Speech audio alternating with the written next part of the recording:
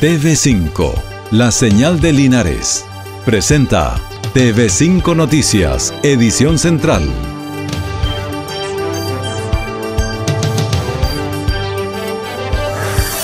Este domingo voto asistido disponible en todos los locales de votación. PDI captura al presunto homicida de la calle San Martín. Expertos en economía llaman a ser cautos en los gastos de fiestas patrias. ¿Qué tal? ¿Cómo están? Bienvenidos a TV5 Noticias, todo el trabajo de nuestro departamento de prensa que usted puede ver por cualquiera de nuestras plataformas. Vamos de inmediato a los contenidos preparados para usted.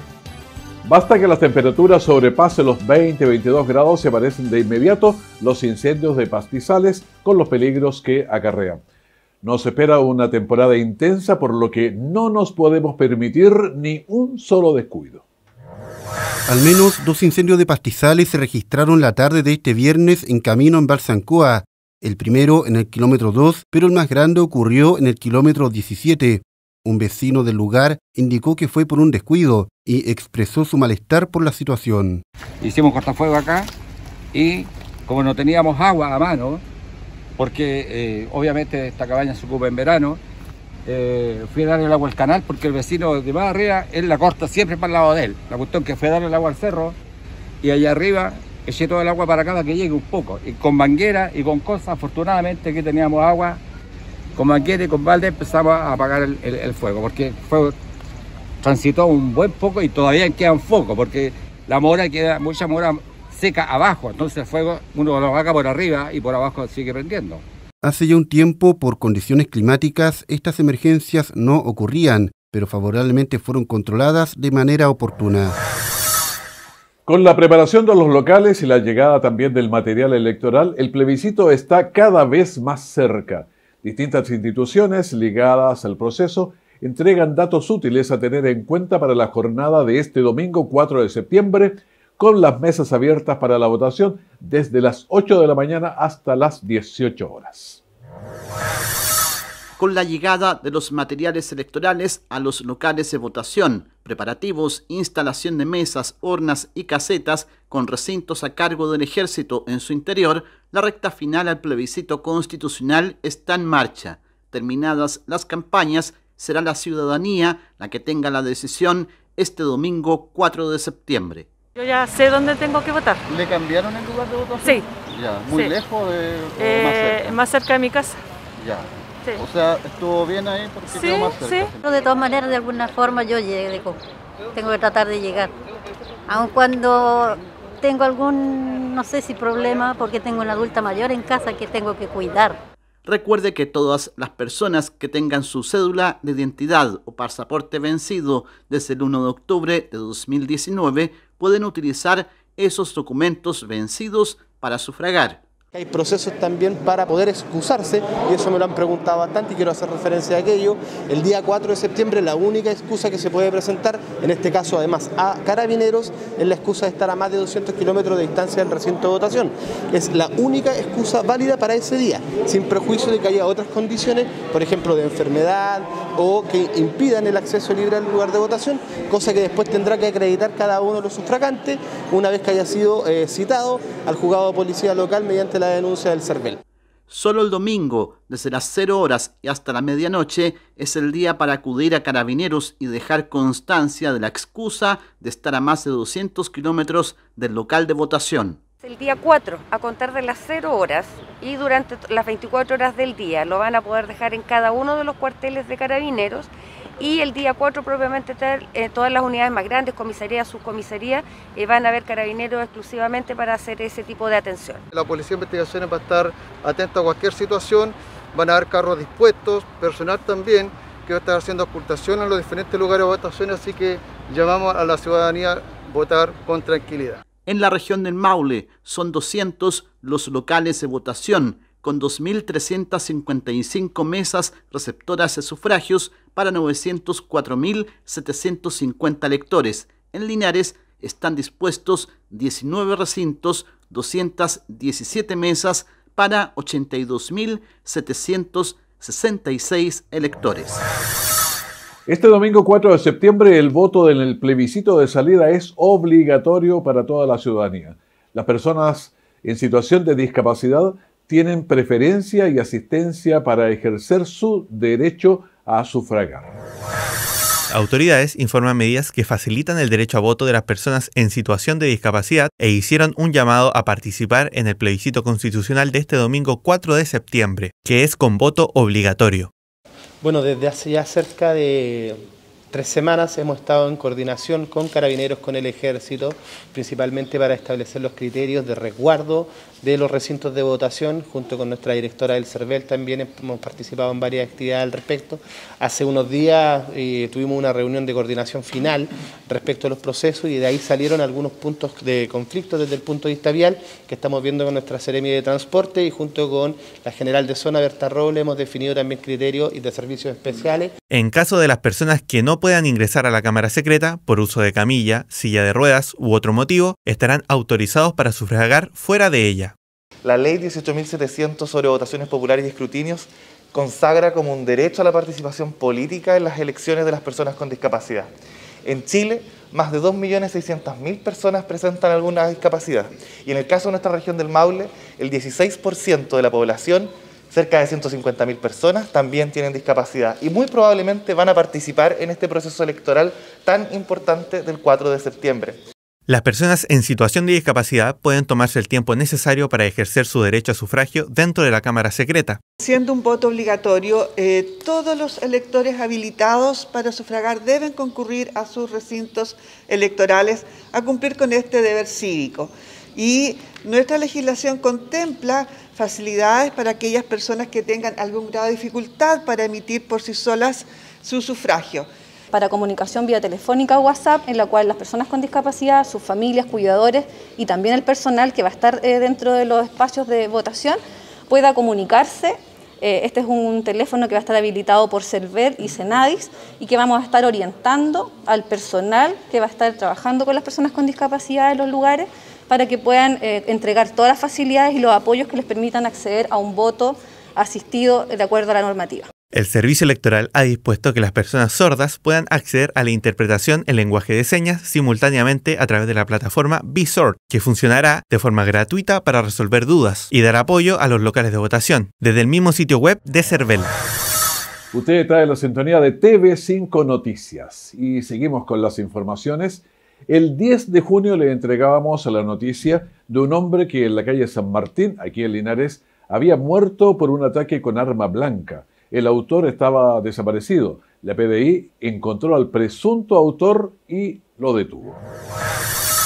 La madrugada de este viernes, la Policía de Investigaciones de Linares, tras seguimientos especializados, logró dar con el paradero del hombre que sería el responsable del homicidio ocurrido la tarde del 12 de junio en calle San Martín, en Linares. La Policía de Investigaciones de Chile cumple con informar a la comunidad la detención del imputado, por su responsabilidad en el homicidio ocurrido el día 12 de junio de este año en la calle San Martín de esta comuna.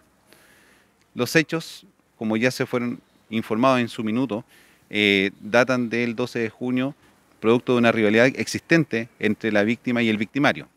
No obstante, el imputado en los hechos, desde esa fecha se encontraba prófugo de la justicia, amparado y ayudado por familiares y amigos. El detenido pasó a control de detención en horas de la mañana de este viernes en los tribunales de justicia de Linares. Los indicadores económicos no, no son alentadores ni favorables para estas fiestas patrias y según expertos anticipan unas fiestas patrias donde conviene no gastar demasiado en el presupuesto familiar. Con un alto costo de la vida, IPC de 1,4% en julio, en espera del de agosto, más un indicador de actividad económica IMASEC de 1% el mismo mes, el escenario para septiembre no es muy alentador. Bienes y servicios más caros no ayudan a hacer rendir los sueldos y se torna complejo subsistir. Se prevé contracción del gasto en fiestas patrias. Sí, adelantando las compras porque como está todo tan caro, para después eh, todo el mundo compra y sube más. Ya compramos todos los adornos ya aquí en el centro para poner los, los las banderas. Vamos a hacer algo bonito para toda la familia un IMASEC que se explica por crecimiento de las actividades de servicios, pero caída del comercio y la minería. Es momento de ahorrar.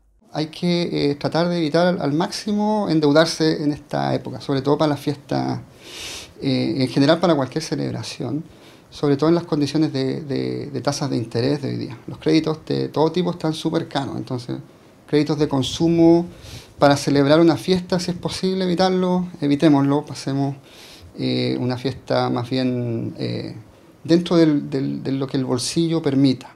Los niveles de actividad económica, según expertos, son similares a febrero de 2021 en plena pandemia. El primer llamado siempre es a, planificar. Mientras más tiempo yo tengo de tomar cualquier decisión, mejores decisiones voy a poder tomar porque tengo más, más opciones. Eh, planificar cuántas personas componen el grupo que va a hacer esta, si es que van a celebrar, cuánto presupuesto tengo, y qué tipo de celebración me puedo permitir. O sea, si yo puedo hacer una fiesta de celebración grande con mucha gente, una fiesta más bien pequeña, si puedo o no puedo salir. Por lo menos una cifra alentadora lo constituye el desempleo respecto del panorama de hace un año en el Maule con desocupación de 7,7%, disminuyendo un punto porcentual en 12 meses.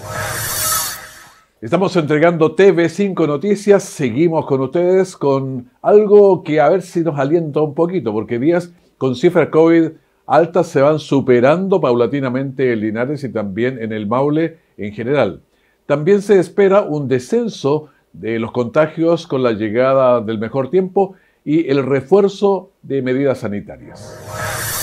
Linares cierra la semana con 53 casos COVID confirmados en las últimas 24 horas, pero con una cifra de pacientes activos que ha bajado a 145, aún en medio impacto sanitario. De todas maneras, las personas prefieren mantener cuidado. Creo que vamos a quedar, vamos a quedar así con alto y bajo. Porque igual la gente de repente no toma tanta conciencia de esto yo creo que vamos a quedar. La mascarilla. La mascarilla, yo trabajo con, con personas cada rato en estacionamiento, así que con mascarilla, el gel a cada rato, con moneda, alcohol todo En el Maule, la autoridad sanitaria explica que la curva ha sido ascendente de junio a agosto, pero se espera un mejor escenario a partir de septiembre. Los contagios, el número de contagios, la tendencia en las últimas semanas, en la última semana y esta, ha sido a la baja, en general en todo el país. Hemos visto cómo las variantes, ¿no es cierto?, de Omicron, la BA4, la BA5, pareciera que ya, ya aparecieron, y ya, ya se mostraron y ahora se ve una, un descenso. Seguir con las medidas sanitarias personales en grupos y lugares de trabajo es la mejor recomendación, indican en estos momentos. Hemos visto con buenos ojos que el, efecto de las vacaciones fue bueno, ¿no es cierto? Post vacaciones de invierno hubo un ascenso, pero ahora ya fue rápido y estamos viendo un nuevo descenso. Así que estamos contentos, pero ustedes saben, esta pandemia es bastante impredecible, eh, nunca se sabe lo que puede ocurrir. Así que el llamado es a mantener las medidas de cuidado. La región de Maule, según el reporte de este viernes, presenta 640 nuevos casos COVID confirmados, con un nuevo fallecido, según el reporte del Ministerio de Salud. ¿Dónde está la chicha más rica para el 18? Obviamente los villalegrinos nos dirán a coro que en su comuna, pero ¿cómo se popularizó la idea de que era Curacaví? Esto tiene todo un relato. Bueno, Vaya a la fiesta del vino y la chicha y aclarará todas estas dudas. En Villa Alegre fue el lanzamiento de la fiesta del vino y la chicha, la cual se realizará este sábado en la plaza de la comuna. La fiesta del vino es solamente un día porque tenemos muchas actividades nosotros, eh, por lo tanto el día eh, sábado 10 vamos a estar presentes con esta fiesta para toda la comunidad, entregarle eh, los mejores vinos de nuestra comuna y la mejor chicha de nuestra comuna. La fiesta representa mucho para los vecinos de esta comuna, por lo que esta décima versión de la actividad los llena de alegría y orgullo. Todo lo que sea nuestras tradiciones, ¿cierto? En este mes de septiembre eh, renacen conjuntamente con la primavera para nosotros que cultivamos lo que es la parte folclórica, en este caso a mí me gusta mucho la cueca, eh, nos interesa y nos hace muy felices estos este tiempo, estos días. Bueno, una mm, actividad para todo público, eh, bonito porque se juntan todos los vecinos del sector y bueno, y mucha gente que hace su artesanía la puede mostrar y la puede vender, que son pymes en realidad y es beneficioso para ellas. El alcalde aprovechó de contar cómo fue que la chicha de Villalegre fue popularizada en Curacaví. La chicha de Villalegre los productores la iban a vender a Santiago. A veces no la vendían en un día o en dos y, se demoraban en vender esas grandes cantidades de chicha que llevaban. Eh, por lo tanto, eh, para bajar los costos de, de estadía en Santiago, había productores de Curacaví que compraban la chicha de Villalegre. Compraban la totalidad y ellos la vendían al detalle. Si usted desea disfrutar del vino, la chicha y las empanadas, la invitación es para este sábado desde el mediodía en la Plaza de Armas de Villa Alegre. A continuación el informe y pronóstico del tiempo preparado por la Dirección Meteorológica de Chile. ¿Cómo va a estar? Se lo contamos de inmediato. Despejado y vamos a tener 4 de mínima, 18 de máxima aquí en nuestra ciudad de Linares. Y veamos qué pasa en Parral, Cauquenes, Talca también estamos con el tiempo despejado, con mínimas de 4 y máximas de 18 grados. Bueno, nos espera un fin de semana que esperamos sea agradable y nos eh, despedimos. Así que deseamos que ustedes lo pasen muy bien. Tenemos un fin de semana con hartas actividades, con plebiscito, así que pasarlo muy, muy bien. Ser todos responsables, ir a votar y como sea, tenemos que encontrarnos el lunes para seguir avanzando en nuestro país. Que estén muy bien. Muchas gracias. Feliz fin de semana. TV5, la señal de Linares, presentó TV5 Noticias, edición central.